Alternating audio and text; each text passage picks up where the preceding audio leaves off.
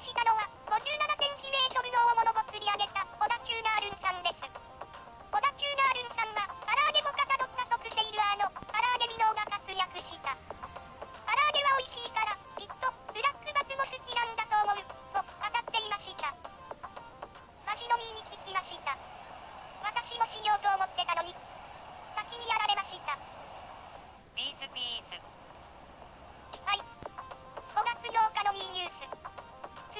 伝えしました。